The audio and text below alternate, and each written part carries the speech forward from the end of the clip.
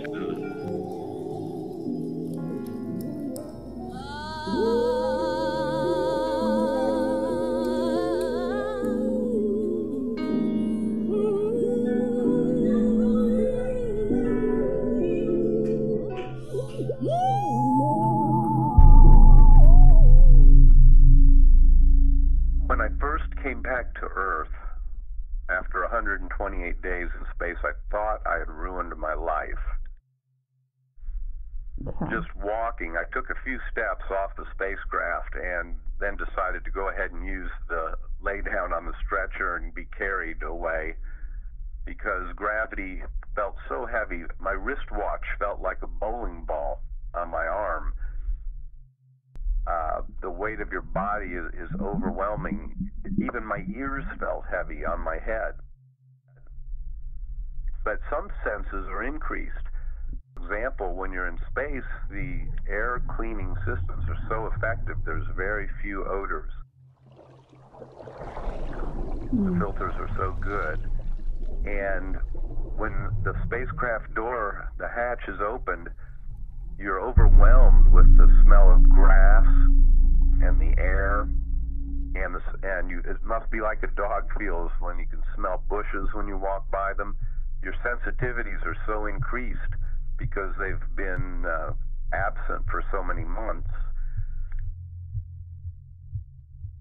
so it's hard to make to walk straight or actually it's hard to make a turn through a doorway because your balance system is so readjusted to space that it, it, it makes it hard to navigate as you turn uh, into doorways. You tend to swing wide. When you tilt your head, for example, to the right, it feels like your body is accelerating to the left. Mm. So you're having all these feelings of acceleration and weight. That are um, kind of overwhelming after the absence of for so long in space. Re- readapting to the Earth is even harder than adapting to space. Mm.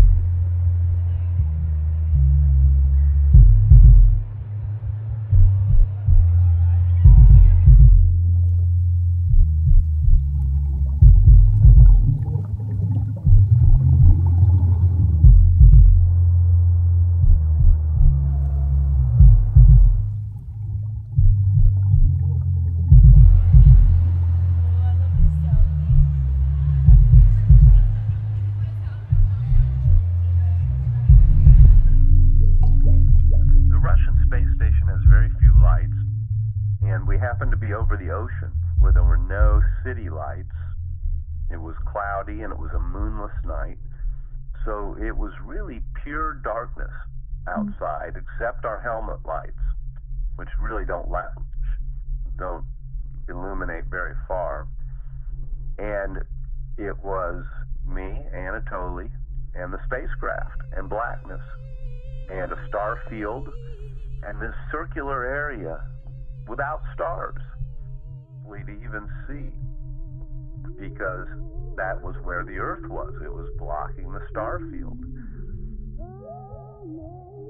And so it was, it seemed pretty easy. I was, you know, holding on lightly and moving around the spacecraft on the outside, you know, pretty quickly, going about our jobs. And then daylight hit, and it hits fast, and it looks like fire coming across the horizon as the sunrise comes toward you at over 17 per hour. And suddenly, you're 250 miles up, looking down at, Earth is going by at over 17,000 miles per hour. And realize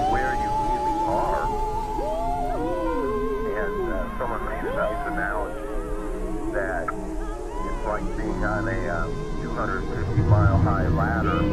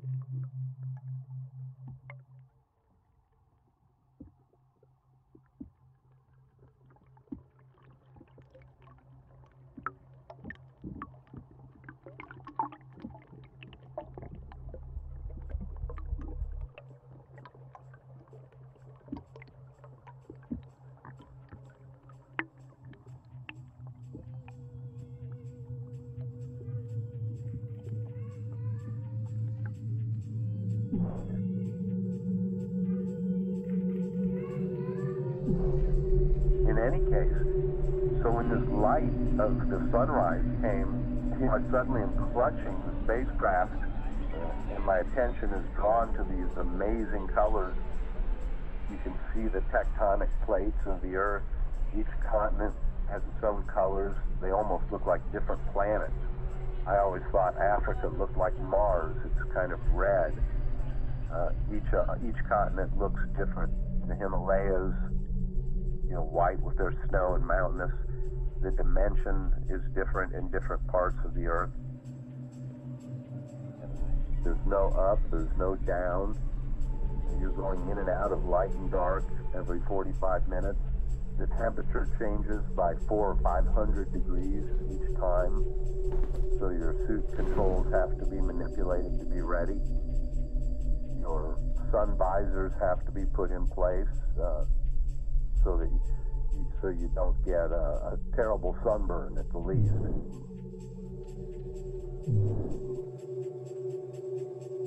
I thought I was seeing things. I couldn't believe that was the whole Earth I was seeing, and that it had these colors that I'd never seen before. The pastels and brightness and darkness and colors of deep blues land. And I had no idea that the Earth could possibly look like another spacecraft that was alive with vegetation and water and this it, it looked like a jewel floating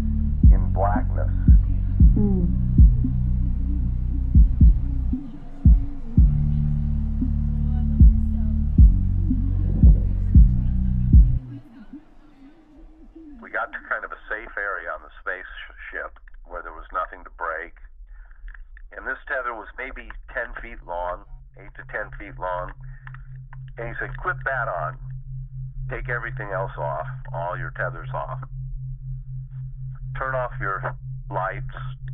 I'll turn my lights off. It was night again. And just push yourself away from the spacecraft. And there we were floating. I couldn't see. Our backs were kind of to each other. And my view, I had this full view of the universe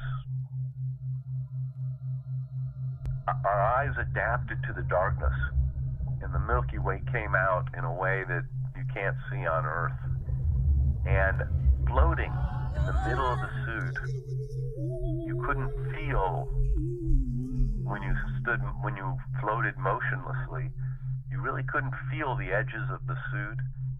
My temperature controls were set perfectly, and I felt like I wasn't even in a spacesuit. I wasn't trying to work or move against the suit, just floating relaxed, looking out into space.